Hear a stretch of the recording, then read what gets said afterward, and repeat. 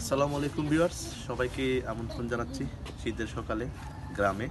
যদি একটি জিনিস দেখাবো, আসলে খুবই পুরাতন জিনিস একটা স্মৃতি। আপনার সাথে শেয়ার করব, আপনারা দেখতে পাচ্ছেন, এই যে। এই জিনিসটা আসলে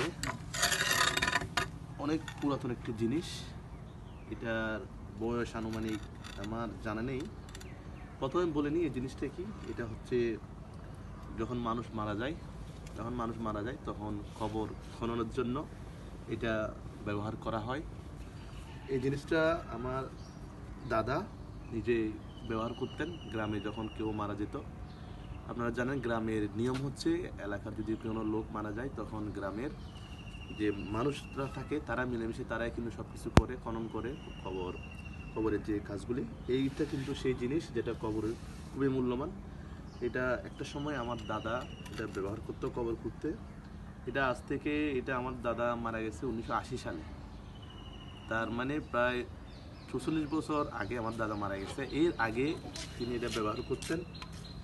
তার এটা আনুমানিক আমার মনে হচ্ছে ষাট বছরের কম হবে না এটার বয়স। কিন্তু এখনও ওই জিনিসটা অনেক স্ট্রং আপনারা দেখতে পাচ্ছেন এখনও কিন্তু অনেক স্ট্রং তবে এটা আমাদের পুরাতন ঘরের মধ্যে, আসলে ছিল ছাদের মধ্যে। জিনিসটা। স্মৃতি হিসেবে আসলে আছে দাদার। আমরা তো দাদাকে দেখি নাই, আমার জন্মের আগে, মারা গেছে। কিন্তু ওই জিনিসটা আসলে যখন দেখলাম, আমি চিন্তা করলাম, জিনিসটা একটু শেয়ার করি। বিশেষ করে গ্রামের মানুষ যারা আছে, তাদের কাছে থাকে এগুলি, যারা কবর খনন করে এগুলি। আর শহরের মধ্যে দেখা যায়, লোক এনেই আসলে কবর খনন করা হয়। আর গ্রামে কিন্তু এটা না। গ্রামে হচ্ছে আপনার এলাকার মানুষই কবরগুলি খনন করে। সবাই মিলেমিশে সবগুলি করে, আনুষ্ঠানিকতা যেগুলি আছে অনুষ্ঠান যেগুলো আছে, একজন মৃত ব্যক্তি পরবর্তী সবগুলো একসাথে কিন্তু মিলেমিশে করে। তো এই জিনিসটা আসলে অনেক পুরাতন একটা জিনিস এখনও দেখতে পাচ্ছ কিন্তু এটা কিন্তু এখনও ঠিক করলে কিন্তু ঠিক হয়ে যাবে। কারণ তখন জিনিসগুলি কিন্তু অনেক মজবুত ছিল। এই কাঠের জিনিসটা ষাট বছর বয়স হবে এটার। এখনও কিন্তু এটা দেখতেছেন এখনও কিন্তু অনেক মজবুত। এটা এখনও কাজ করা যাবে। তো এখনকারের জিনিস আর আগের জিনিসের মধ্যে তফাৎ আছে। তো আমার দাদা মারা গেছে উনিশশো আশি সালে, আমার জন্মের অনেক আগে।